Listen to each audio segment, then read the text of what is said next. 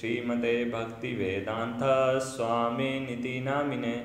नमस्ते सारस्वते देवे गौरवाणी प्रचारिणे।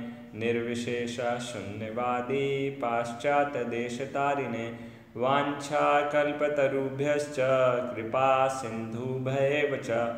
पतितानां पावनेभ्यो, वैष्णवेभ्यो नमो नमः। जय श्री कृष्ण चैतन्य प्रभु नित्यानंद श्री अद्वैत गदाधर, श्रीवासादि गौर भक्त वृंद हरे कृष्णा हरे कृष्णा कृष्णा कृष्णा, हरे हरे। हरे राम हरे राम राम राम, हरे हरे। रामाय रामभद्राय, रामचंद्राय वेदसे, रघुनाथाय नाथाय, सीताय पतये नमः। कूजन्तं राम रामेति मधुरं मधुराक्षरम् आरुह्य कविता शाखां वंदे वाल्मीकिकोकिलम् गौतम ऋषि ने किस प्रकार से उनको दोबारा स्वीकार किया कि अपने संबंध को परमानेंट परमानेंटली विच्छेद नहीं किया, जो एक अगर गलती हुई थी उनसे तो जब उनका टर्म पनिशमेंट पूरा हो गया तो उसके बाद कि अब इनका शुद्धिकरण हो चुका है और जिसको भगवान के द्वारा स्वीकार कर लिया गया है, भगवान के द्वारा माफ़ कर दिया गया है, या भगवान के द्वारा जिसका उद्धार किया जा जा चुका है तो अपने आप में शुद्ध है। तो इसलिए उन्होंने उसको स्वीकार कर लिया। और विश्वामित्र मुनि के विषय में फिर हमने चर्चा शुरू किया कि किस प्रकार से सतानंद, जो कि अहल्या के पुत्र थे, वो कथा विश्वामित्र मुनि की सुनाते हैं, उनके ग्लोरीज के विषय में बताते हैं और किस प्रकार से विश्वामित्र मुनि का वशिष्ठ विश्वामित्र, राजा विश्वामित्र का वशिष्ठ मुनि के साथ आमना सामना होता है और किस प्रकार से वशिष्ठ की गाय लेने के लिए विश्वामित्र मुनि उनके सामने प्रस्ताव रखते हैं, फिर उनसे युद्ध किया जाता है जिसमें विश्वामित्र बुरी तरह से पराजित होते हैं और उसके बाद तपस्या करते हैं। शिव को प्रसन्न करके एक बहुत बड़ी सेना हासिल करते हैं।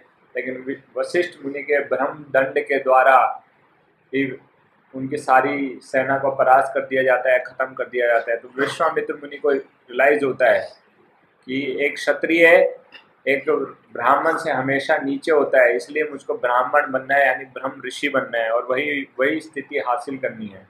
तो ब्रह्म ऋषि बनने का, के लिए अब वो ऐसा प्रण लेते हैं।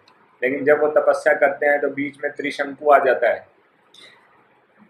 राजा त्रिशंकु, उसको स्वर्ग लोक चाहिए। तो स्वर्ग लोक में जाने के लिए, जाने के लिए वो पहले वशिष्ठ मुनि के पास जाता है, फिर उनके पुत्रों के पास जाता है, वे सब मना करते हैं तो उनके दुश्मन विश्वामित्र मुनि के पास जाता है। विश्वामित्र मुनि कहते हैं, ठीक है। उनको भेजते हैं अपने तपोबल से, लेकिन इंद्र त्रिशंकु को नीचे भेज देता है। उन, अब नीचे आ रहा है। ऊपर जाना नहीं चाहता और फिर एयर प्रेशर से उसकी सारे शरीर फूल जाता है नसें फट जाती हैं खून निकल जाता है फू, शरीर फूला फूला हो जाता है। तो अब वो नीचे आ रहा है नीचे फेंका जा रहा है। चिल्लाओ चिल्लाओ सॉरी बचाओ बचाओ चिल्लाता है। बचाओ। तो विश्वामित्र मुनि बोलते हैं अच्छा कैसे नीचे आ गया?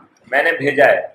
बोलते हैं अब मैं जाना नहीं चाहता। बोले अरे चुप कर तुझसे किसी ने पूछा है अब तो भेज के ही रहूँगा।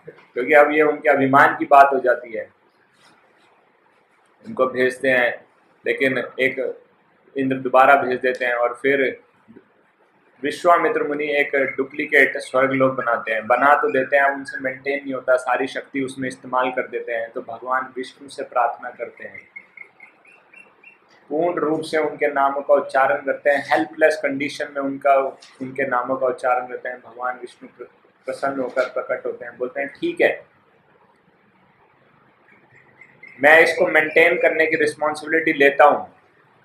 लेकिन त्रिशंकु हमेशा ये ऐसे उल्टा ही रटका रहेगा। और इसके बाद विश्वामित्र मुनि को रियलाइज़ होता है कि उनकी सारी शक्ति खत्म हो चुकी है। अब वो सोचते हैं कि मैं इसके चक्कर में फंस गया, सारा समय और मेरा शक्ति का हास हो गया। और सोचते हैं अभी मैं दक्षिण दिशा में आया था साउथ साउथ दिशा में। साउथ मतलब इग्नोरेंस तो बोलते हैं, अज्ञानता के कारण मैं इसकी बातों में आ गया और अपनी सारी शक्ति मैंने ख़त्म कर दी। तो अब मुझको दूसरी जगह जाना चाहिए, दूसरी डायरेक्शन में जाना चाहिए। तो यहाँ पर एक क्या लेसन है कि विश्वामित्र मुनि अभी भी क्या कर रहे हैं एक्सटर्नल रीजंस को ब्लेम कर रहे हैं, अपनी सफलता के लिए असफलता के लिए, कभी स्थान को, कभी स्थिति को। ठीक है? लेकिन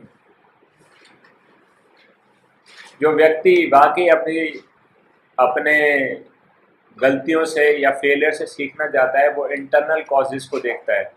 लेकिन विश्वामित्र मुनि अभी भी क्या देख रहे हैं कि डायरेक्शन के कारण शायद मेरी सफलता नहीं हो पाई, इसलिए वो वेस्ट पश्चिम वेस्ट पश्चिम में है ना? यस पश्चिम दिशा में जाने का विचार करता है। और पश्चिम दिशा दिशा में वो दोबारा से अपनी मेडिटेशन ऑस्टैरिटीज जब तब तपस्या शुरू कर देते हैं, बहुत लंबे समय तक करते हैं, सिर्फ़ फल लेते हैं, ज़रूरत पड़ने पर वो भी या कभी पानी की कुछ बूंदे लेते हैं। और उसी समय पे वहाँ पर पास में एक राजा जिनका नाम है अम्बरीश, वो भी एक बहुत इलेबरेट यज्ञ कर होते हैं, बहुत विस्तृत यज्ञ कर रहे होते हैं। उनका वैसे तो पर्पज था कि जनता को, प्रजा को सुख, शांति के लिए वो ये करना चाहते थे, लेकिन इंद्र जब भी कोई यज्ञ देखता है, उसको सबसे पहले इनसिक्योरिटी हो जाती है। उनका ऐसा इंद्र का आसन प्राप्त करने का ऐसा कोई विचार नहीं था, लेकिन इंद्र को इनसिक्योरिटी हो गई। अब जब इंद्र को इनसिक्योरिटी हो गई तो उसने यज्ञ में अर्पण किए जाने वाला एनिमल या जो भी जानवर था, जो कि यज्ञ के अंत में अर्पण किया जाना था, उसको चुरा लिया।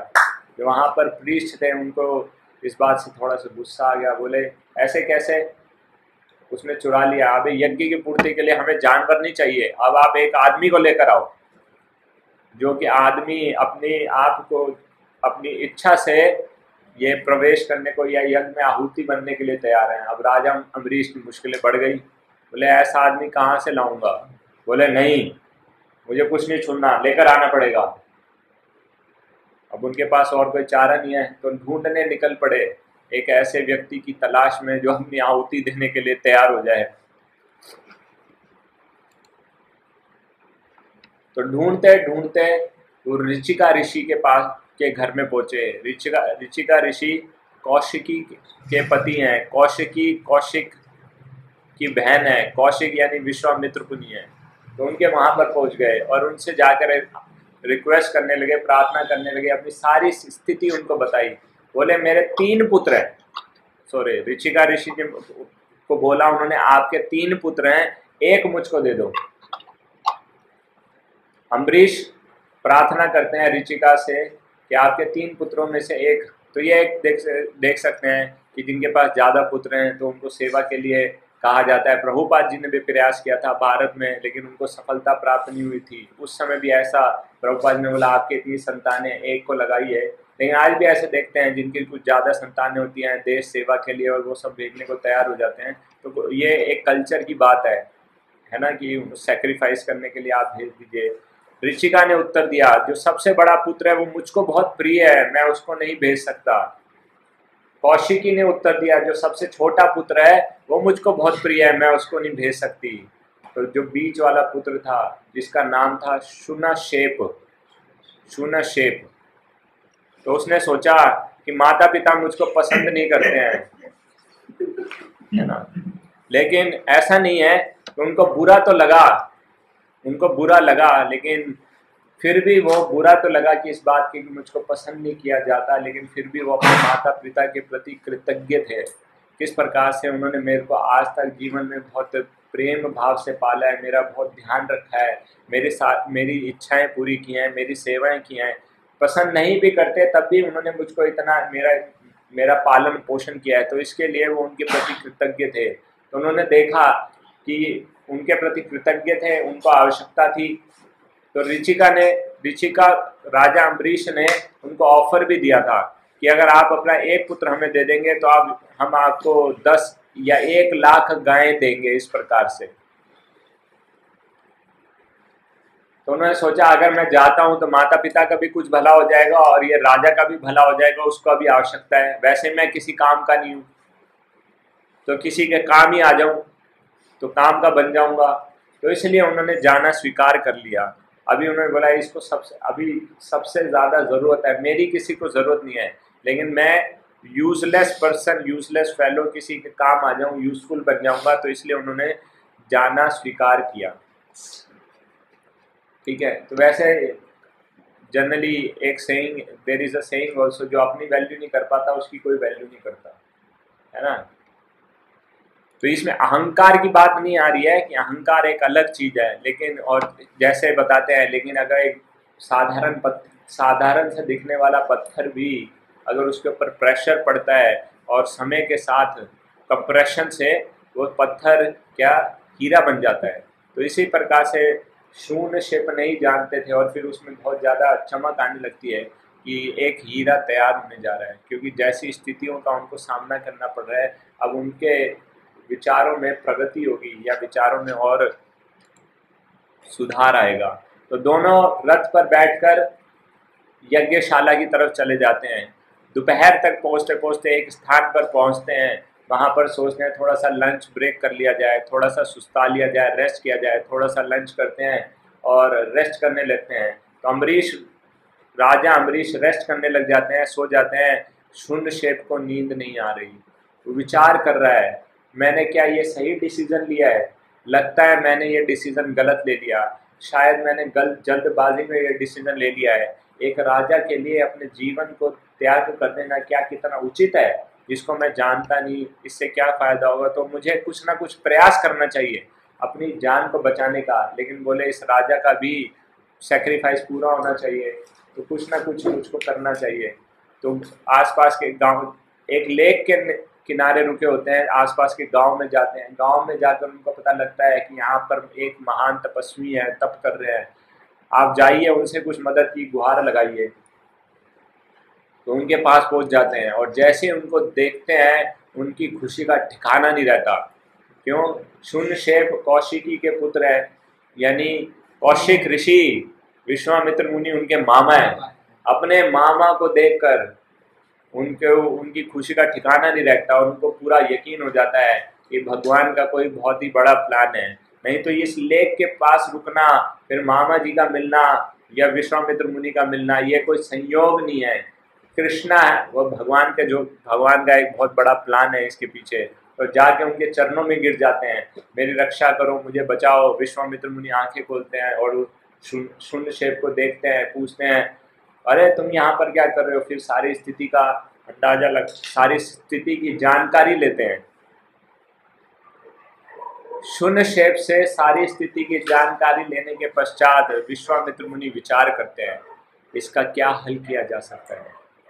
विचार करने के पश्चात वो अपने पुत्रों को, जो कि वहाँ पर उपस्थित थे, उनको कहते हैं, आप में से कोई एक चले जाओ। मेरे पास बहुत सारे पुत्र हैं, कोई एक चले जाओ और शून्य शेठ की जान बच जाएगी।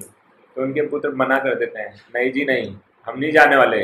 हम क्यों जाए, हम क्यों अपनी जान जोखिम में डालें या हम क्यों अपनी जान का त्याग करें इन शून्य शेप के लिए? मना कर देते हैं। विश्वामित्र मुनि थोड़े से निराश हो जाते हैं। निराश किस लिए?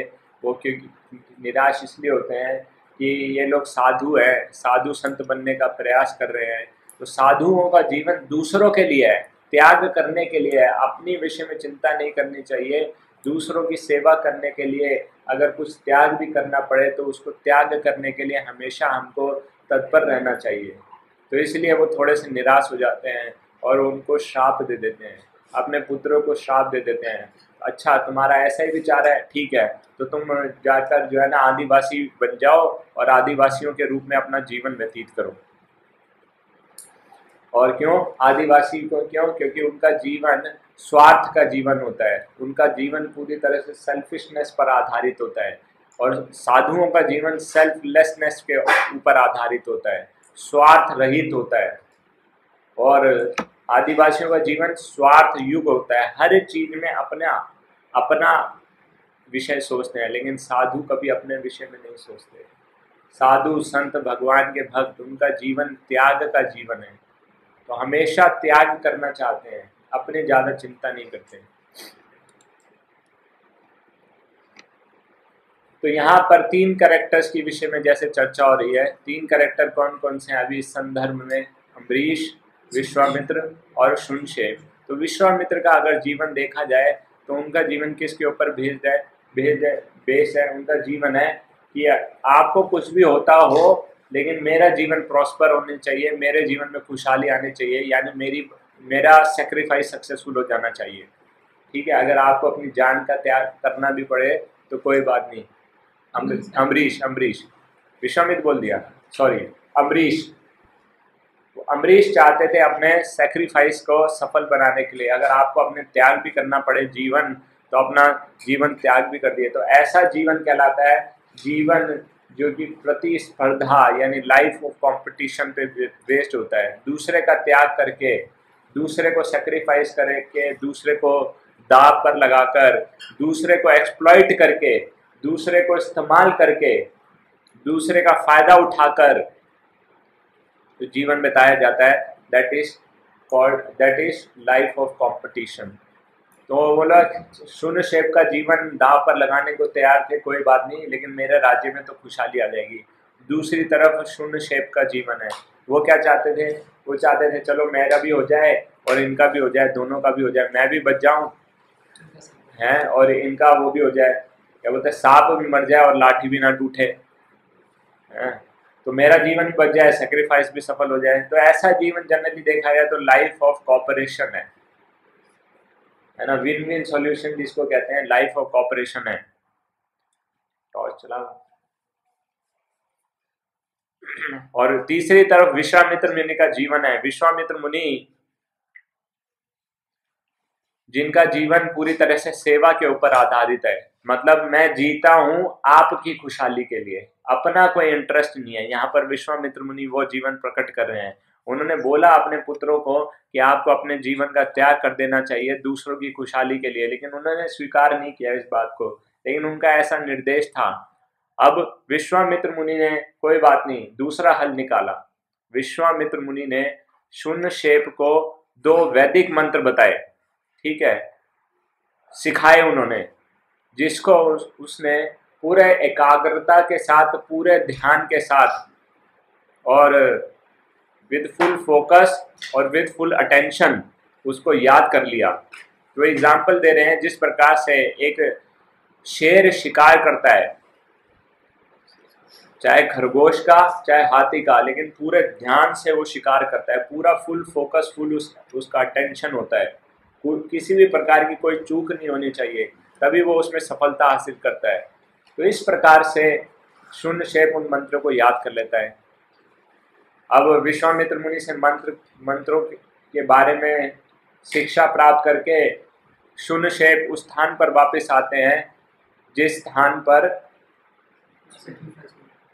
नहीं नहीं, जिस स्थान पर राजा अम्बरीश सो रहे हैं, उनको उठाते हैं। चलो भाई, चलो, लेट हो रही है सेक्रीफाइस पूरा नहीं करना क्या? है? कब तक सोते रहोगे? जो सोवत है, वो खोवत है। चलो, उनको ले जाते हैं वहाँ से और सेक्रीफिस यज्ञ, यज्ञशाला में पहुँचते हैं और फिर उनको तैयार किया जाता है, उनको सजाया जाता है। लाल वस्त्र पहनाए जाते हैं उनको और ऐसे गार्लेंड बनाए जाते हैं जिनके फूलों का कलर कहते हैं कि ब्लड रेड ऐसे ब्लड नहीं निकल रहा था ब्लड रेड कलर था। ठीक है?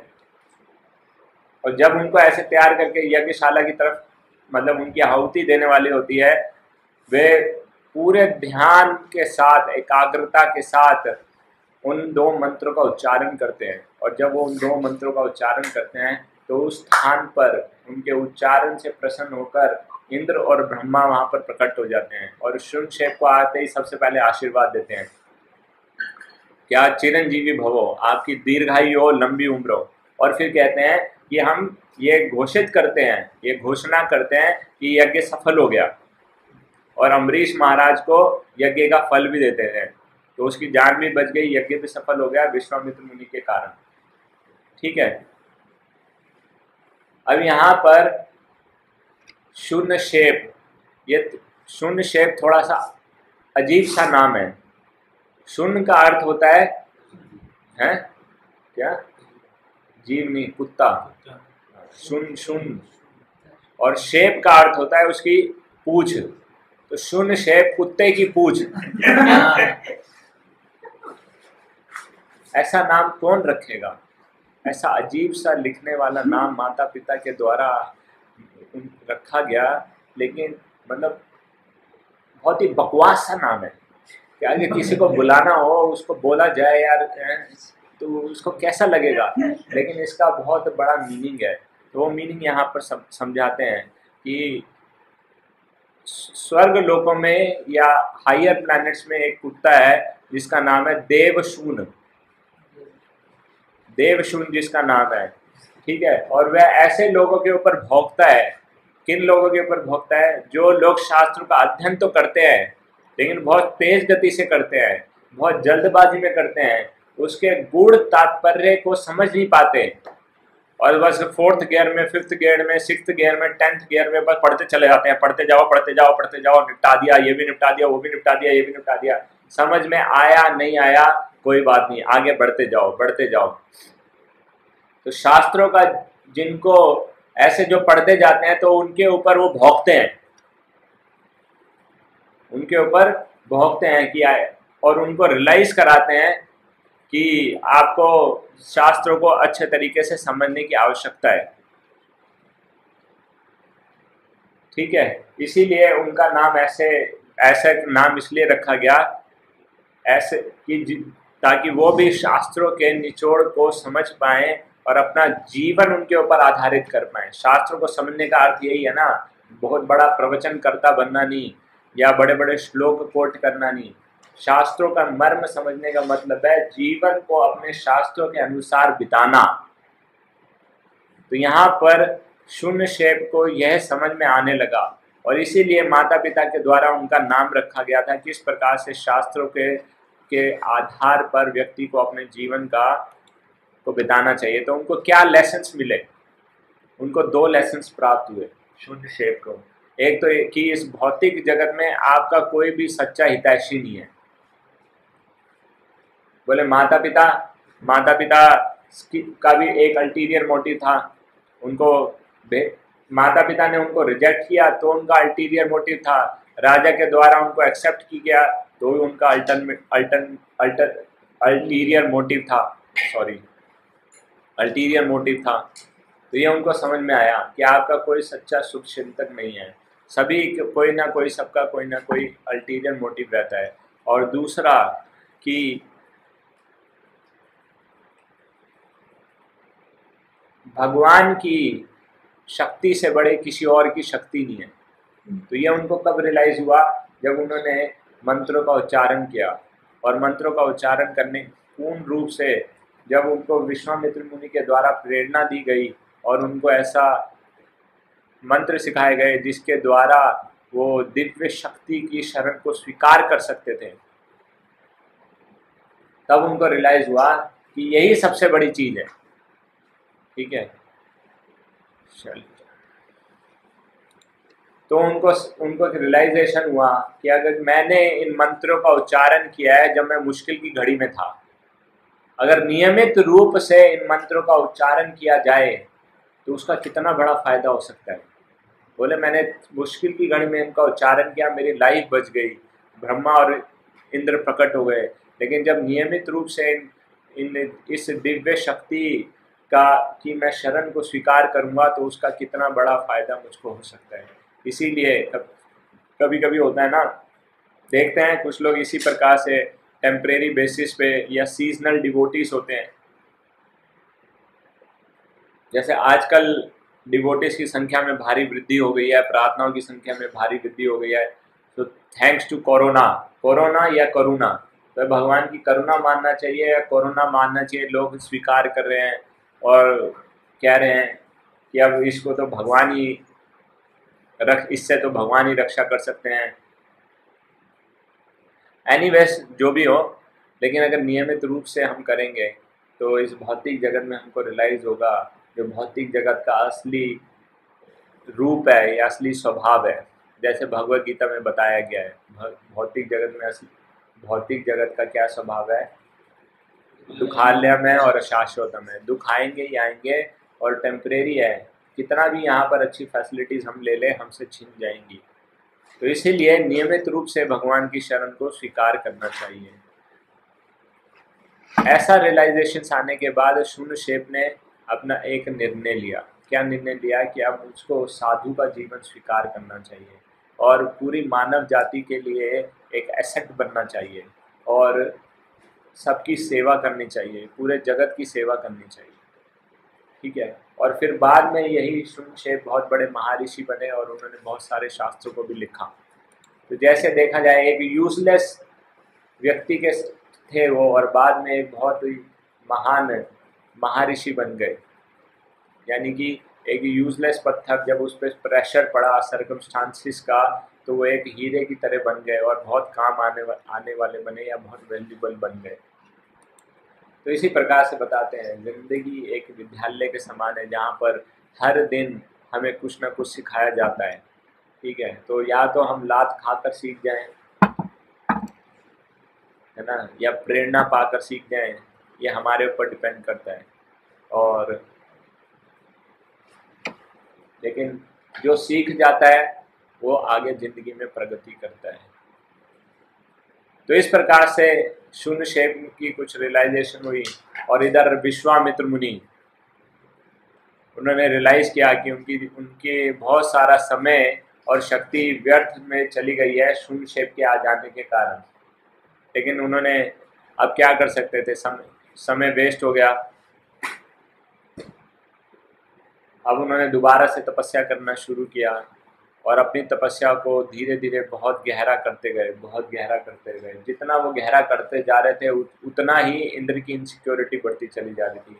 अभी उसकी इनसिक्योरिटी खत्म नहीं हुई थी। राजा अम्बरीश ने इनसिक्योरिटी दी थी। अब उसको विश्वामित्र मुनि से, विश्वामित्र मुनि से इनसिक्योरिटी हो गई। तो हेमनली प्लैनेट्स की सर्वलोक की सबसे सुंदर स्त्री मेनका को वहाँ पर भेजा। विश्वामित्र मुनि के तपस्या को भंग करने के लिए। विश्वामित्र मुनि उस, जिस स्थान पर तपस्या करे थे, वहाँ पास में एक लेक, झील थी। मेनका ने उस झील में प्रवेश किया और बहुत ही धीरे मंद मंद मंद गति से, मंद मंद आवाज़ में, लेकिन बहुत ही सुरीली आवाज़ में गाना गाना शुरू किया। उसके शरीर से बहुत सुंदर महक निकल रही थी। तो कान, गाने की आवाज़ उनके कर्नों में प्रवेश किया। और फ्रेगनेस उनकी नाक में प्रवेश किया। और यह सब महसूस करके उन्होंने जब आँखें खोली तो आँखें जैसे ही उसके सुंदर शरीर पर पड़ी तो आँखों के माध्यम से काम उनके हृदय में प्रवेश कर गया। तो काम आँखों के माध्यम से हृदय में प्रवेश करता है। अगर सुनकर या सूंघ कर हम आँख इग्नोर कर सकते हैं तो बचना बहुत आसान है। लेकिन अगर दृष्टि डाल देंगे तो बचना बहुत मुश्किल होता है, क्योंकि आँखों के माध्यम से काम बहुत तेज गति से हृदय के अंदर प्रवेश कर जाता है। और बार बार देख, जितना बार बार देखते हैं, उतना ज़्यादा और वो इंटेंसिफाई हो जाता है।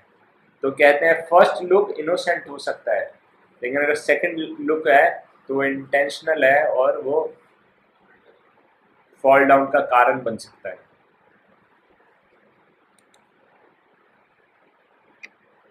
मेनका के द्वारा आकर्षित होकर विश्वामित्र मुनि ने उसका संग किया और उसका संग करते करते दस साल बीत गए।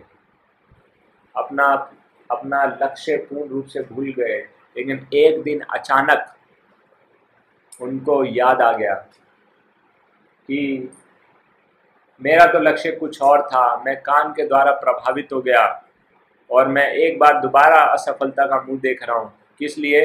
क्योंकि मैं काम के वशीभूत होकर इस स्त्री का संग कर लिया, हो ना हो यह स्त्री इंद्र के द्वारा भेजी गई है। लेकिन अब उन्होंने थोड़ा सा समझदारी से और ज़िम्मेदारी से काम लिया। हालाँकि जब मेनका को पता लग गया, पता लगा कि विश्वामित्र मुनि को पता लग गया है तो वो डर से कांपने लगी। लेकिन विश्वामित्र मुनि ने उनको कुछ नहीं कहा और इस बात की रिस्पॉन्सिबिलिटी लिया कि मेरी गलती थी। मैं इसके द्वारा आकर्षित हो गया, मेरी गलती थी। तो अपनी गलती को मानते हुए उन्होंने उसको कोई श्राप नहीं दिया। देख रहे थोड़ा सा सटल सटल प्रगति हो रहा है उनका, एक तरीके से देखा जाए। तो अभी उन्होंने रिस्पॉन्सिबिलिटी लिया।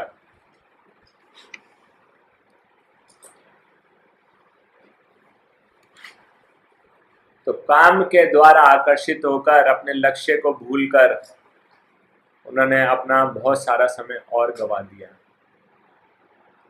ये बिल्कुल इसी प्रकार से है। मन के द्वारा हमको ऐसे विचार या काम पूर्ण विचार दिए जाते हैं, जो बिना विचारे इनके ऊपर एक्ट कर लेता है, उसको आगे बहुत समस्याएँ का सामना करना पड़ता है। विश्वामित्र मुनि अपनी गलती को मानकर उसकी ज़िम्मेदारी लेते हुए उस स्थान से आगे बढ़ गए। उन्होंने बोला, अभी मुझको पश्चिम दिशा में भी सफलता प्राप्त नहीं हुई। अब मुझको उत्तर दिशा में जाना चाहिए।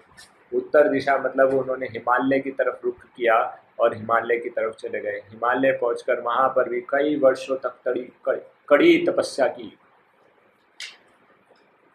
और उनकी तपस्या से कड़ी तपस्या से प्रसन्न होकर ब्रह्मा जी उनके सामने प्रकट हुए। ब्रह्मा जी उनके सामने प्रकट तो हो गए, लेकिन ब्रह्मा जी ब्रह्मा जी ने उनको कहा कि बहुत कार्य शेष है है ना? There is a long way to go इससे पहले आप ब्रह्म ऋषि बने, आपको अभी इंद्रियों पर पूरी तरह काबू करना होगा। अभी आपका इंद्रियों पर पूरी तरह काबू नहीं हुआ है, अभी आप ब्रह्म ऋषि नहीं बने हैं। तो ब्रह्मा जी ने उनको फ्लैटली इतना स्ट्रांग अपना ओपिनियन या फीडबैक दे दिया एक तरीके से। तो ऐसा फीडबैक पाकर उन्होंने अपनी तपस्या को और इंटेंसिफाई कर दिया। कितना इंटेंसिफाई गर्मियों में अपने चारों तरफ़ आग का घेरा बनाते थे और अपनी तपस्या करते थे। सर्दियों में क्या बोलते हैं वो? ठंडी या बर्फ़ से जमी हुई नदी में प्रवेश कर जाते थे। और अपना जप और तपस्या करते थे। प्रभुपाद जी ने ये एग्ज़ाम्पल दिया है। भगवत गीता में प्रभुपाद जी एग्ज़ाम्पल देते हैं। बोलते हैं, एक ये तरीका है, चाहो तो ये तरीका अपना लो, लेकिन हमको हर, हमको हरे कृष्णा हरे कृष्णा कृष्णा कृष्णा, हरे हरे हरे राम हरे राम राम राम, हरे हरे। एक वो सरल तरीका भी है, जिसमें ना आग के घेरे की आवश्यकता है, ना बर्फ़ की सिल्लियों की आवश्यकता है, किसी की आवश्यकता नहीं है। ये जैसे भी किसी भी स्थिति में है बस हरे कृष्ण महामंत्र का निरंतर रूप से जब करो।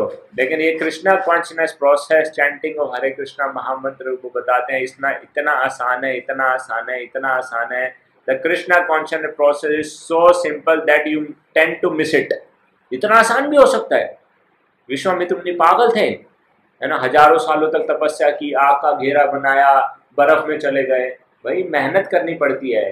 बच्चों का खेल नहीं है, भगवत प्राप्ति कोई ऐसा थोड़ी ना आसानी सिर्फ़ हरे कृष्णा महामंत्र कर लो और भगवत प्राप्ति हो जाएगी। तो ये हरि नाम की शक्ति को जानते नहीं है जो लोग, वो ऐसी बातें करते हैं। हरि नाम में इतनी शक्ति है कि उसमें किसी भी ऐसी आवश्यकता नहीं है। बस एक चीज़ जो आवश्यकता है, नियमित रूप से जब करना, लगातार जप करना और ध्यान पूर्वक जप करने का प्रयास करना। उनकी इतनी इंटेंसिफाइड तपस्या को देखकर इंद्र दोबारा इनसिक्योर हो गया। बार बार उसको पता नहीं कितनी बार, हज़ारों बार उसको इंद्र को इनसिक्योरिटी हुई होगी। इतना अटैचमेंट है उसको। जैसे हम डिस्कस कर चुके हैं attach insecurity sign of attachment इस बार उसने रंभा रंभा नाम की अप्सरा को भेजा। यस अप्सरा। रंभा नाम की अप्सरा को भेजा। तो रंभा जानती थी। विश्वामित्र मुनि कुछ भी कर सकते हैं। थोड़ा सा डर रही थी वो। कहीं उनके क्रोध का मुझको कारण ना बनना पड़े, कहीं अब अपना अभिशाप ना दे दे तो थोड़ी सी हिचकिचाट गई थी, लेकिन इंद्र को मना भी नहीं कर सकती थी। तो इसलिए बेचारी मरती क्या ना करती। ही उनकी बात मानकर आ गई और साथ में कामदेव भी आए और इंद्र खुद भी आए। तीनों वहाँ पर प्रकट होकर इंद्र ने एक कुकू बर्ड का रूप ले लिया और बहुत मीठी मीठी आवाज़ गुनगुनाने का लगा। और कामदेव ने वहाँ के वातावरण को बहुत ही सुंदर बना दिया, बहुत ही फ्रेगनेंट बना दिया। फूलों की वर्षा होने लगी, है ना? और बहुत ही सुगंधित हवा चलने लगी। तो मधुर, बहुत मधुर वातावरण बना दिया। पर्पस क्या था? To inside the lusty desires again उनको आकर्षित करना था उनकी तरफ़। लेकिन विश्वामित्र उन्हें इस बार सावधान थे, समझदार थे, लेकिन काम को वो कंट्रोल कर लिया, लेकिन अपने क्रोध को कंट्रोल नहीं कर पाए। तो बोला, नहीं, अब इसके बहकावे में नहीं आऊँगा, अब इससे आकर्षित नहीं होऊँगा। लेकिन ये इंद्र के द्वारा ही भेजी गई है और उन्होंने रंभा को शाप दे दिया कि तुम पत्थर की बन जाओ। और उसको वही पत्थर बना दिया। इंद्र और कामदेव ने जब ये देखा, वहाँ से तुरंत दो दो ग्यारह हो गए है ना, बोले, वो तो बोलते, दुम पे, दुम दुम दगा के भाग लिए।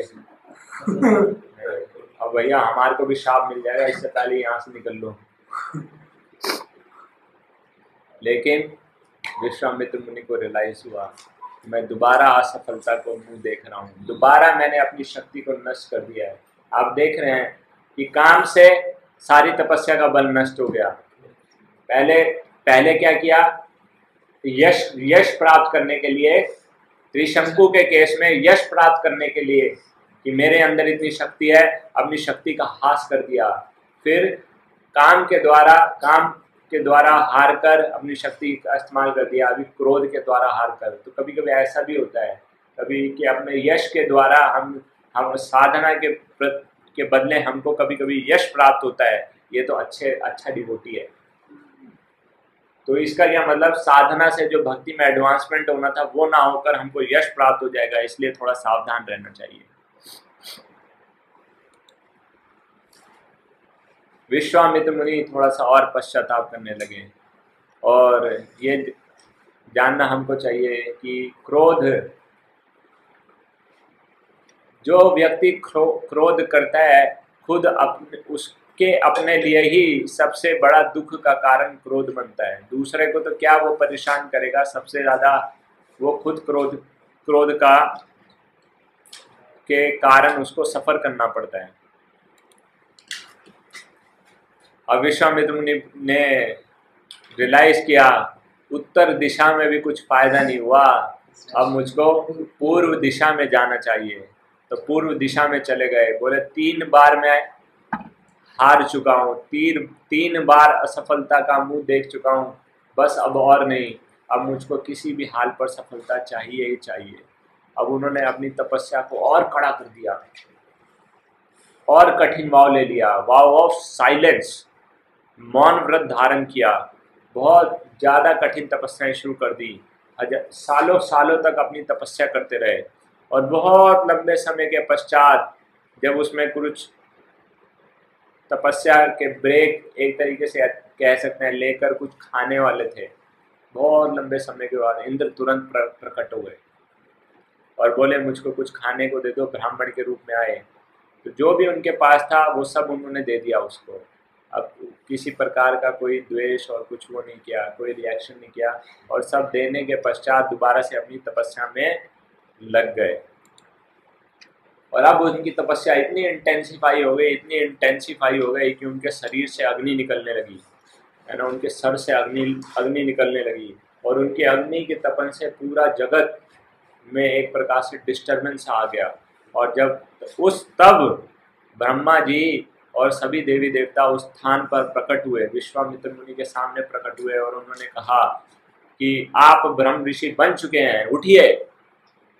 और तब उन्होंने आशीर्वाद दिया। और इसके साथ साथ ब्रह्म ऋषि बनने के साथ साथ उनको कहा कि अगर आपको कुछ आशीर्वाद चाहिए तो वो मांग लीजिए। उन्होंने आशीर्वाद मांगा कि सभी वेदों का ज्ञान मेरे को प्रकट हो जाए, सभी वेदों का ज्ञान मुझको आ जाए और इसके साथ साथ जो वशिष्ठ है ना, वशिष्ठ और बाकी ये जो सारे ऋषिगण है, मुझको ब्रह्म ऋषि मानना चाहिए। उन्हें बोला, ठीक है। उन सबने मान लिया तो उनको थोड़ा सा वो वट अ रिलीफ ऐसा रिलीफ का उनको एहसास हुआ। रिलीफ क्या कहेंगे? तसल्ली तसल्ली हुई। उनको बहुत तसल्ली हुई, ठीक है। अब वशिष्ठ जो उनका सबसे बड़ा दुश्मन था, अब उन्होंने उनको ब्रह्म ऋषि मान लिया है। उनका तब उनका जब उनका तपस्या का आखिरकार फल उनको प्राप्त हो गया है। लेकिन विश्वामित्र मुनि का ऐसा भाव नहीं था। विश्वामित्र मुनि ने यह सब होने के बाद जो कार्य किया, सब उसको देखकर हैरान हो गए। विश्वामित्र मुनि ने वशिष्ठ मुनि के चरणों को अपनी गोद में लिया और उनको, उनका अभिषेक कराया, उनके चरणों की पूजा की, पूरे प्रेम भाव के साथ और आदर के साथ। और उनको रियलाइज़ हुआ कि ये भ्रम ऋषि बनना वाकई कोई बच्चों का खेल नहीं है। और इसके साथ साथ उनको अपनी गलती का एहसास हुआ कि एक महान महान साधु से, महान व्यक्ति से ईर्षा करके मैंने अपने जीवन की सबसे बड़ी गलती की है। तो वाकई ब्रह्म ऋषि बन चुके थे, तभी यह एहसास हो रहा था। अगर ब्रह्म ऋषि नहीं बने होते तो उनको यह एहसास नहीं हो पाता। और अपनी गलती के लिए उन्होंने क्षमा याचना किया और उनके चरणों की शरण को स्वीकार किया। कि आप मुझे क्षमा कर दीजिए और मुझको आप स्वीकार कीजिए। दोनों दोनों ने फिर एक दूसरे को अपने गले लगाया और जो द्वेष था, अब वो प्रेम में परिवर्तित हो चुका था। तो इस प्रकार से हम देखते हैं, विश्वामित्र मुनि की दृढ़ता ने उनको साधारण राजा से एक महान ब्रह्म ऋषि बना दिया। ठीक है, विश्वामित्र के इस चैप्टर की या कहानी की शुरुआत हुई द्वेष के साथ, लेकिन वो खत्म हुई ज्ञान के ऊपर और भक्ति के साथ। ठीक है? और इसके साथ साथ भगवान के प्रति प्रेम और विनम्रता का भाव भी उनके हृदय में प्रकट हो चुका था। तो सतानंद ऋषि जो ये कथा को सुना रहे हैं, विश्वामित्र मुनि के तीन गुणों की चर्चा करते हैं। वो बताते हैं कि विश्वामित्र मुनि की दृढ़ता, विश्वामित्र मुनि का क्या, का प्रयास, बिना किसी रुकावट के प्रयास करना, असफलता होने के बावजूद भी उन्होंने हार नहीं मानी। कभी भी डिप्रेस नहीं हुए, कभी भी मोरोस नहीं हुए और लगातार प्रयास करते रहे और इसके साथ साथ पूरा उनका ध्यान या एकाग्रता, इस कारण से उनको सफलता प्राप्त हुई। भगवान श्री राम और लक्ष्मण जब विश्वामित्र मुनि के इस प्रकार से उनके जीवन की घटनाओं के विषय में सुनते हैं, उनकी स्ट्रगल्स के विषय में सुनते हैं तो उनका, उनके प्रति आदर का भाव और बढ़ जाता है। और जनक महाराज वहाँ पर उपस्थित होते हैं, वो जब विश्वामित्र मुनि के, की महानता के बारे में सुनते हैं, उनके गुणगान के विषय में सुनते हैं तो अपने आप को बहुत भाग्यशाली समझते हैं कि ऐसे महान ब्रह्म ऋषि मेरे राज्य में उपस्थित हैं। तो उनसे प्रार्थना करते हैं कि आप कृपया करके कुछ और समय यहाँ पर रहिए। बारह दिनों तक रहिए। अभी सीता का स्वयंवर होने वाला है, यज्ञ होने वाला है। तब तक आप वहाँ पर यहाँ पर रहिए। तो उनसे प्रार्थना करते हैं। और यह सब कहकर उनको इनविटेशन देकर राज्य से के कोने पर या किनारे पर आउटस्कर्ट्स में वो रुके हुए थे, वहाँ से चले जाते हैं। रात में जब सब लोग विश्राम कर रहे हैं तो विश्वामित्र मुनि चिंतन कर रहे हैं। तो ये सबसे इम्पोर्टेंट एस्पेक्ट है विश्वामित्र मुनि के लाइफ का कि वो वो रिफ्लेक्ट कर रहे हैं अपने जीवन के ऊपर। He is is reflecting on his life अब विचार कर रहे हैं। तो पूरा देखते हैं, पूरा एपिसोड क्या है? कहाँ से शुरुआत हुआ? देश, द्वेष से शुरुआत हुआ और ये अब कहाँ पर भगवान के प्रति प्रेम हो गया? तो देखें ऐसा कैसे हो गया? कि भगवान के प्रति उनका प्रेम विकसित हो गया, तपस्या ब्रह्मा जी का किया, उन्होंने शिव जी का तपस्या किया। तो भगवान तो एक पर्टिकुलर इंसिडेंट एक पर्टिकुलर इंसिडेंट उनको याद आ गया, जहाँ पर उनका ध्यान पूरी तरह से अटक गया या एकाग्र हो गया, पूरी तरह से फोकस हो गया। वो था, उनको वो स्थिति याद आ गई, जब त्रिशंकु को स्वर्ग भेजने के चक्कर में उन्होंने अपनी सारी शक्ति का इस्तेमाल कर लिया। और स्वर्ग को बनाए रखने में सारी शक्ति का इस्तेमाल किया। अब ऐसी अवस्था में थे, ऐसी अवस्था में थे, शक्ति बची नहीं है। उसको उसको मेंटेन नहीं कर पा रहे। तो उन्होंने हेल्पलेस कंडीशन में उनका ऐसा लग रहा था, उनका सर फट जाएगा, क्योंकि इतनी शक्ति लग रही थी, शक्ति उनके पास थी नहीं। और शक्ति लग रही थी तो पूरी हेल्पलेस कंडीशन में होकर बहुत तेज से, पूरा दर्द में, पूरा असहाय होकर ज़ोर ज़ोर से उन्होंने भगवान के नाम, भगवान विष्णु के नामों का उच्चारण किया। हरे कृष्णा हरे कृष्णा कृष्णा कृष्णा, हरे हरे। हरे राम हरे राम राम राम, हरे हरे। उन्होंने भगवान विष्णु के नामों का उच्चारण किया। पूरी तरह से हेल्पलेस होकर, असहाय अवस्था में आकर उन्होंने जब भगवान विष्णु के नाम का उच्चारण किया तो उनको तब भगवान विष्णु प्रकट हो गए। उनकी असहाय दयनीय अवस्था को देखकर और भगवान प्रकट हुए। भगवान उन, उनके सामने प्रकट हुए। तो ये उनके पूरी की पूरी जर्नी का सबसे इम्पोर्टेंट पार्ट था। हालाँकि उन्होंने क्या किया? उन्होंने उन्हों, असहाय अवस्था थी उनके पास। पूरा अवाय असहाय हो गए थे, भगवान के ऊपर पूरा शरणागत हो गए थे, भगवान की कृपा के ऊपर पूरा आश्रित हो गए थे। जिस प्रकार से द्रौपदी की भी ऐसी स्थिति थी, जब पूरी तरह से असहाय हो गई, असहाय हो गई, पूरी तरह से भगवान के ऊपर निर्भर हो गई तो भगवान उसकी मदद को के लिए आ गए। इसी प्रकार से विश्वामित्र मुनि की तपस्या के लिए सॉरी विश्वामित्र मुनि की मदद करने के लिए भगवान वहाँ पर प्रकट हो गए। और विश्वामित्र मुनि के पास प्रकट हुए तो विश्वामित्र मुनि ने क्या मांगा? विश्वामित्र मुनि ने कहा कि मैं तो ये मेंटेन नहीं कर पाऊँगा, आप मेंटेन कर दीजिए। भगवान ने बोला, ठीक है, मैंने तो हज़ारों लाखों करोड़ों यूनिवर्स मेंटेन करता हूँ। एक और स्वर्ग अगर मेंटेन करूँगा तो क्या है? कौन सी बड़ी बात है? बच्चों का खेल है। कोई बहुत बड़ी बात है। कोई बहुत बड़ी बात नहीं है। उस वक्त विश्वामित्र मुनि ने क्या जीवन चल रहा था उनका? विश्वामित्र मुनि का जीवन चल रहा था। अपने आप को बस वशिष्ठ मुनि से श्रेष्ठ दिखाना चाहते थे। उनके जीवन का लक्ष्य सिर्फ़ यही था। अब मेरे को वशिष्ठ से श्रेष्ठ बनना है। तो वो किस दिशा में जा रहे हैं, वो दिशा नहीं देख पाए वो।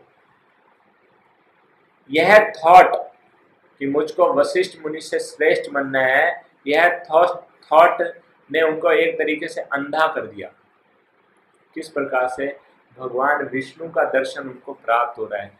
भगवान विष्णु उनके सामने प्रकट हो गए हैं। भगवान विष्णु क्या है? उनसे कुछ भी मांगा जा सकता है। एक वो एक दरवाजे, ऐसे दरवाजे के, उनको ऐसा महसूस होने लगा, वो अपॉर्चुनिटी थी, वो एक ऐसे दरवाजे के साम, समान थी जिसको मुझे खोलना चाहिए था। और भगवान से उनकी भक्ति मांगनी चाहिए थी, उनकी सेवा मांगनी चाहिए थी, उनके प्रति प्रेम को मांगना चाहिए था। और मैंने क्या मांग लिया? ये स्वर्ग को आप मेंटेन कर लीजिए। तो जिस प्रकार से प्रभुपाद जी एक कथा सुनाते हैं, एक बूढ़ी स्त्री की जो जंगल में जाती है और उस दिन ज़्यादा लकड़ियों का बंडल ले आती है और फिर उठाया नहीं जाता उससे तो प्रार्थना करती है, भगवान मेरी मदद करो, आप ही मेरी रक्षा कर सकते हो, मेरा आपके सिवाय और कोई नहीं है। प्लीज़ मेरी रक्षा करो प्लीज़ मेरी रक्षा करो। अगर आप मेरी रक्षा नहीं करेंगे तो मेरी रक्षा कौन करेगा? आप ही दीनों का सहारा है, बेसहारों का सहारा है। कृपया मेरी मदद करो। इस प्रकार से प्रार्थना करती है, भगवान प्रकट हो जाते हैं। बोल माई, तुझे क्या चाहिए? ये लकड़ी का बंडल मेरे घर पहुँचा दो। तो प्रभुपाद जी कहते हैं, भगवान सामने प्रकट होते हैं और वो उनसे एक छोटा सा आदना सा, जो कि हज़ारों करोड़ यूनिवर्स अपने अनंत शेष के रूप में उठा रखे जिन्होंने उनके लिए क्या है? जिन्होंने गोवर्धन सात दिन के लिए अपनी छोटी उंगली पे उठा लिया, उनके लिए क्या है? लकड़ी का बंडल उठा लो। उससे अपने जीवन का सबसे बड़ा निर्णय या जीवन का सबसे बड़ा लक्ष्य पूर्ण करने की इच्छा, यानी भगवत धाम प्राप्ति, भगवान के प्रति प्रेम को विकसित करने की इच्छा प्रकट कर सकती थी। लेकिन मांगा क्या? तो ये मूर्खता मूर्खता की इससे बड़ी और क्या निशानी हो सकती है? तो विश्वामित्र मुनि इसी बात के ऊपर विचार करते हैं। कि भगवान मेरे सामने प्रकट हुए, लेकिन मैंने क्या मांग लिया? इस स्वर्ग लोक को मेंटेन कर लो। भगवान के प्रति भक्ति को मांगना चाहिए था। ठीक है?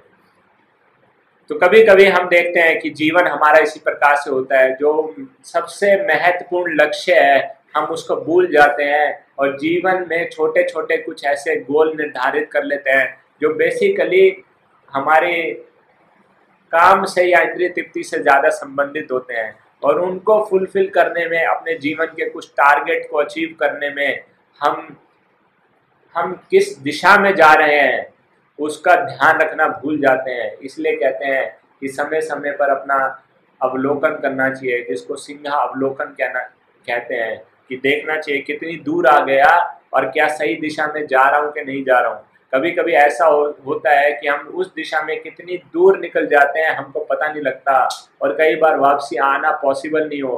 तो अगर वन वे है वापस नहीं आ पाए और कभी कभी अगर किसी एक्सप्रेस वे पे चले जाएँगे ना उस पर निकल जाएँगे तो कितना किलोमीटर दूर जाने पर तो एक यूटर्न प्राप्त होगा।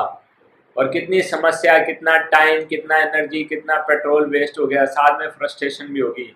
मुझको याद है, एक बार हमारे साथ ऐसा हुआ था। मुझको आईआईटी का फॉर्म सबमिट करना था। तो सम मैंने बहुत लेट प्लान किया उस ईयर तो हम जिस दिशा में जा रहे थे, वहाँ कोई कट नहीं था। और हम थोड़ा लेट भी हो रहे थे। फॉर्म मिलेगा सेकंड लास्ट डे हमने सोचा कि फॉर्म करना चाहिए। कल लास्ट डे है। फॉर्म लेने समय पर पहुँच रहे हैं। तो हम गलत दिशा में चले गए। इतना फ्रस्ट्रेशन हुआ, इतना फ्रस्ट्रेशन हुआ। और वापसी आते वक्त आधा घंटा वापसी आने में लग गया।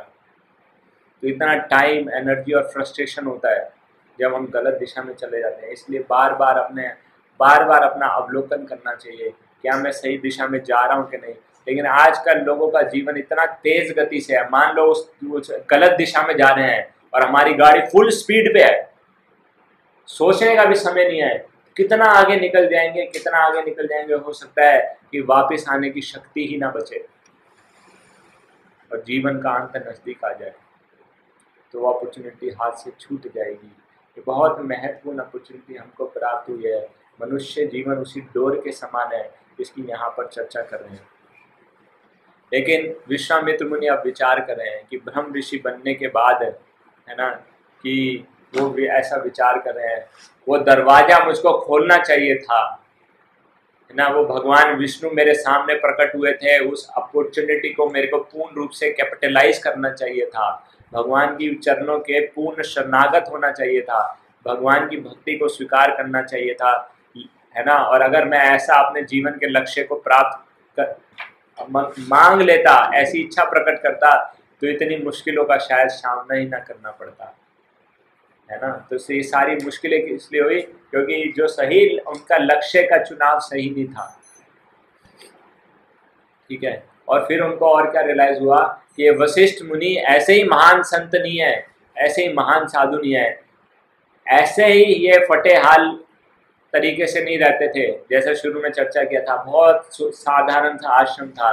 गायें जिनके पास ऐसी थी जो सब कुछ प्रकट कर सकती थी, लेकिन कैसे साधारण जीवन बता रहे थे? और फिर जो हमेशा यात्रा करना पसंद करते हैं, वो वशिष्ठ मुनि ने क्यों स्वीकार कर लिया? एक राजा के यहाँ आकर उनका पृष्ठ बनना या पुरोहित बनना, क्योंकि वो जानते थे, भगवान विष्णु, भगवान राम के रूप में प्रकट होने वाले हैं।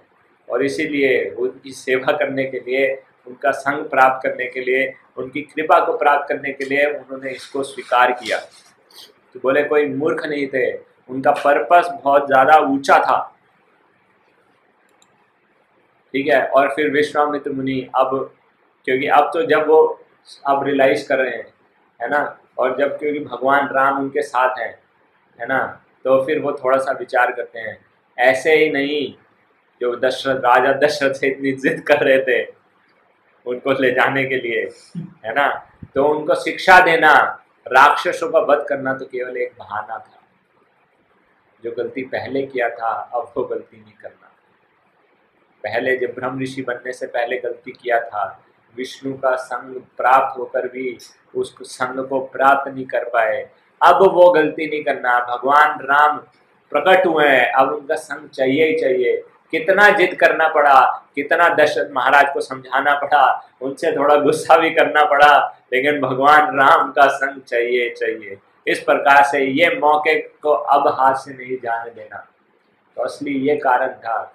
इसीलिए भगवान राम के साथ कुछ समय बिताना चाहते थे, उनका कुछ संग प्राप्त करना चाहते थे, उनकी कुछ कृपा को हासिल करना चाहते थे। ताकि जो उन्होंने ये जीवन में कुछ शक्ति अर्पण किया है और अर्जन किया है या प्राप्त किया है, वो भगवान को अर्पण कर पाए। और भगवान का का पूर्ण शरणागति को स्वीकार कर पाए, भगवान को पूर्ण रूप से सरेंडर कर पाए। यह उनका असली विचार था। इसीलिए भगवान राम को और लक्ष्मण को अपने साथ लेकर आए थे। असली असली कारण था उनका संग करना, ना कि उनको सिखाना, उनका टीचर बनना। तो उनके साथ कुछ इंटीमेट टाइम बिताना डीलिंग करना। तो जितना समय वो बिता पा रहे थे, उनके साथ उनको बहुत महसूस हो रहा था। तो ऐसा विचार कर रहे थे। बोले, बस अब एक सेवा श्रेष्ठ, शेष रह गया है। कल भगवान राम का विवाह का सेवा है।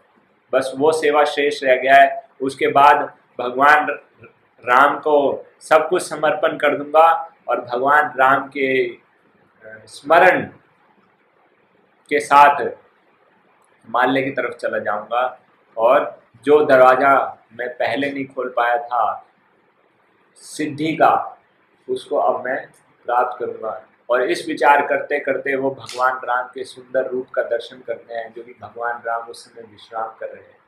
वैसा विश्राम करते करते वो भगवान राम के पूर्ण शरणागत होते हैं और भगवान राम की कृपा की प्राप्त याचना करते हैं। तो इस प्रकार से विश्वामित्र मुनि जिनका जिनका जीवन द्वेष से शुरू हुआ था और जिन्होंने बहुत कठिनाई से एक ब्रह्म ऋषि की स्थिति को हासिल किया, लेकिन ब्रह्म ऋषि बनना उनके जीवन का लक्ष्य नहीं रह गया था। वहाँ तक उन्होंने अपने आप को सीमित नहीं कर लिया। उन्होंने भगवान की भक्ति को स्वीकार किया। भगवान के भक्त बने। इसीलिए महान संत हैं और इसीलिए क्योंकि उन भगवान का इतना संग उनको प्राप्त हुआ है। ठीक है तो उनके जीवन से प्रेरणा पाकर हमको अपने जीवन में प्रयास करना चाहिए। सबसे महत्वपूर्ण तो यही है कि अस डिटर्मेंट एफर्ट करने चाहिए, असफलता से घबराना नहीं चाहिए। भगवान के नामों का उच्चारण अह असहाय अवस्था में करना चाहिए। उनका पूर्ण शरणागति लेना चाहिए और ये जानना चाहिए कि मेरे जीवन का लक्ष्य भगवान के पूर्ण शरणागत होना है भगवान की भक्ति को प्राप्त करना है ना कि इधर छोटे मोटे गोलों गोल से डाइवर्ट होना चाहिए। ठीक है? इसके लिए हमको समय समय पर अप, अपना अवलोकन अप, पुनर्वलोकन करने की आवश्यकता पड़ेगी क्या हम सही दिशा में जा रहे हैं या नहीं जा रहे। अगर हम गलत दिशा में जा रहे हैं और गलत दिशा में बहुत दूर चले गए है ना? तो हो सकता है कि हमें वापस आने में बहुत लंबा समय चल जाए, बहुत लंबा समय लग जाए। ठीक है? और बोलते हैं ना कि डायरेक्शन कैसे प्राप्त होती है? डायरेक्शन आज वो बोले तो डायरेक्शन कंपस से प्राप्त होती है। ईस्ट है वेस्ट है। तो वो कंपस कौन है हमारे जीवन में? वो हम, वो जी वो स्पिरिचुअल मास्टर है कंपस हमारे जीवन में, जो हमको समय समय पर डायरेक्शन देंगे। तो समय समय पर उनसे मिलना, चर्चा करना, है ना, अपनी स्थिति से उनको अवगत कराना और उनसे जिज्ञासा करना कि क्या मैं सही दिशा में जा रहा हूँ, मुझको कहाँ सुधार करने की आवश्यकता है, ये आवश्यकता है। नहीं तो हमको हो सकता है कि हम वो भटकते हुए देर ना लगे। तो इसीलिए विश्वामित्र मुनि हमको यहाँ पर सिखाते हैं कि अपने लक्ष्य लक्ष्य क्या है, उसको जानना चाहिए। और उससे भटकना नहीं चाहिए। इसके लिए भगवान की शरण स्वीकार करने से पहले गुरु का शरण स्वीकार करना होता है और गुरु हमको सही दिशा में लगाए रखते हैं। तो ये कुछ महत्वपूर्ण शिक्षाएँ हैं जो हम विश्वामित्र मुनि के जीवन से प्राप्त कर सकते हैं। और जिस तरह से हम देखते हैं कि विश्वामित्र मुनि का किस प्रकार से प्रगति हुआ और इसीलिए उनका ये कांड का नाम बाल कांड रखा गया, किस प्रकार से एक ऐसे व्यक्ति या एक ऐसे राजा जो कि द्वेष से भरा हुआ था, उनकी प्रगति हुई भगवान के शुद्ध भक्त के रूप में। ठीक है, उनको काम से भी हारे, क्रोध से भी हारे, लेकिन हिम्मत नहीं हारे। तो यही है, हो सकता है कि हमारे जीवन में असफलता आएँगी, लेकिन हिम्मत नहीं हारना। ये बहुत आवश्यक है। है ना? तो जो भी ऐसे सरकमस्टांसेस आते हैं, उनसे हमको शिक्षाएँ लेनी है। और जैसे हिजोलिनस गोपाल कृष्ण गोस्वामी महाराज बताते हैं कि एक गलती करो, लेकिन उससे सीखो और वो गलती दोबारा मत करो। ये बहुत आवश्यक है। गलती को रिपीट मत करो। उनसे सीखो और आगे बढ़ो, उनमें सुधार करो। और इस प्रकार से गुरु की शरणागति में रहकर निरंतर रूप से एक ना एक दिन भगवान की शरणागति, पूर्ण शरणागति को प्राप्त किया जा सकता है या भगवान के प्रति प्रेम को विकसित किया जाता है। और एक और बात इसमें विश्वामित्र मुनि के जो जीवन चरित्र से कि उन्होंने भगवान के नामों का जब उच्चारण किया तो पूर्ण असहाय अवस्था में होकर पूर्ण रूप से भगवान के नामों का उच्चारण किया। तो इसी प्रकार से हमको भी भगवान के नामों का उच्चारण असहाय अवस्था में करना चाहिए। हरे कृष्णा हरे कृष्णा कृष्णा कृष्णा हरे हरे। हरे राम हरे राम राम राम हरे हरे।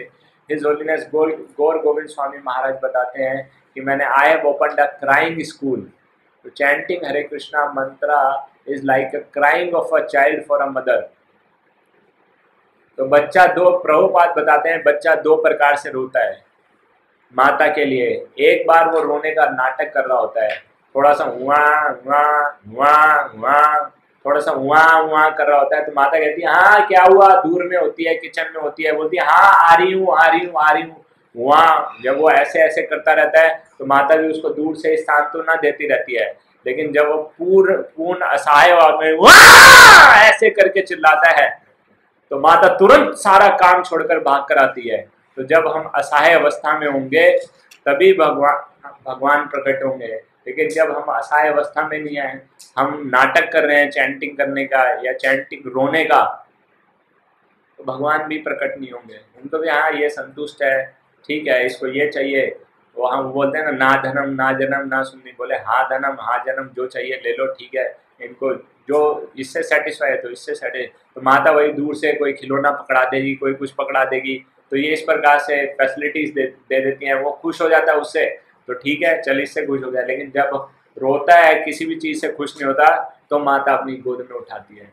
तो इस प्रकार से भगवान उठाएँगे और गौर गोविंद स्वामी महाराज कह रहे हैं कि आई हैव ओपन स्कूल ये क्राइंग स्कूल तो यानी कि हरे कृष्ण महामंत्र को इस प्रकार से जब करना चाहिए, जिस प्रकार से भगवान से बिछड़ कर या माता, बच्चा माता से बिछुड़ कर रोता है। कभी देखा है? मूवी वगैरह में देखा होगा। कुंभ के मेले में बच्चे खो जाते हैं तो कैसे रोते हैं? या किसी को बचपन का एक्सपीरियंस है? है? कभी कभी देखा है, कोई बच्चा रोता है माता के लिए, माता दूर चली जाती है, फिर उस बच्चे को कुछ भी देने का प्रयास करो तो वो कुछ भी स्वीकार नहीं करता। उसको उसको अपना एक याद आ रहा है, मैं बहुत छोटा था उस वक्त। क्लास तो मुझको याद नहीं फ़र्स्ट सेकंड शायद क्लास होगी। तो पेरेंट्स के साथ मूवी थिएटर में गए थे। वहाँ पर अंधेरा होता है तो वहाँ पर एक रिलेटिव मिल गए जब ब्रेक हुआ था। तो उन्होंने बोला, इसको मैं बाद में ले आऊँगा। इंटरवल ख़त्म हुआ और उन्होंने मेरे को आइसक्रीम वगैरह दिलाया, कुछ खाने को दिलाया और मेरे को उस लाइन में छोड़ दिया। इंटर जब वहाँ पे अंदर लाइटें बंद हो जाती हैं उस समय और मैं देख नहीं पाया कहाँ पर मेरे पेरेंट्स हैं। तो मेरे हाथ में जो सारी आइटम थी, वो सभी वो फेंका मैंने और बहुत तेज रोना शुरू कर दिया। तो पहले तो उनको पता नहीं चल रहा था पेरेंट्स को, लेकिन फिर उनको पता चल गया। है ना? तो इस प्रकार से, भगवान भी इसी प्रकार से देखते हैं कि अगर ये जब फैसिलिटी से खुश हैं तो अगर आइसक्रीम चॉकलेट खा के मैं चुप रहता तो शायद वो भी अपना मस्त रहते। हैं तो इस प्रकार से ये कुछ शिक्षाएँ जो हमको विश्वामित्र मुनि के जीवन से प्राप्त होती हैं कि हमको भगवान की पूर्ण शरणागति को स्वीकार करना चाहिए और असहाय अवस्था में भगवान की शरण को स्वीकार करना चाहिए, भगवान के दिव्य नामों पर जब करना चाहिए और असफलता से अपनी साधना को, सेवा को बंद नहीं करना चाहिए। दृढ़ता से प्रयास करते रहना चाहिए और ये विश्वास रखना चाहिए, हम होंगे कामयाब एक दिन। तो कामयाबी का क्या मतलब है? हमको भगवान की कृपा प्राप्त होगी एक दिन। यह यह मतलब है ऐसा नहीं है कि हम भग, है ना हम भगवान को मजबूर कर देंगे अपने सामने प्रकट होने के लिए कैसे नहीं आएँगे? तो विश्वामित्र मुनि का ऐसा ही विचार था कि मैं बन के रहूँगा ब्रह्म ऋषि बन के रहूँगा। लेकिन धीरे धीरे उनका शुद्धिकरण होता गया। क्यों? क्योंकि उनको बीच में विष्णु का दर्शन प्राप्त हुआ उनका स्मरण किया और असहाय अवस्था में उन्होंने उनके नामों का उच्चारण किया। ठीक है? हरे कृष्णा। सीताराम लक्ष्मण हनुमान खे। जगत गुरु शील प्रभुपाद खे। गौर प्रेमानंदे।